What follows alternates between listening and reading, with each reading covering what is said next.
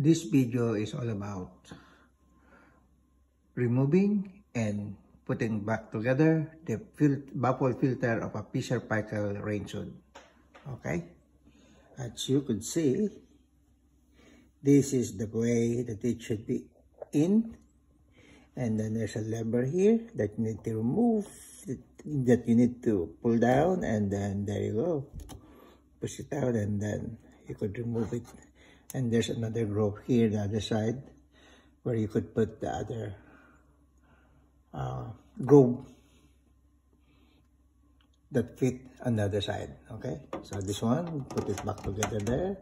Then it's it's, it's already snag and then put it back here and then release the lever and then there you go.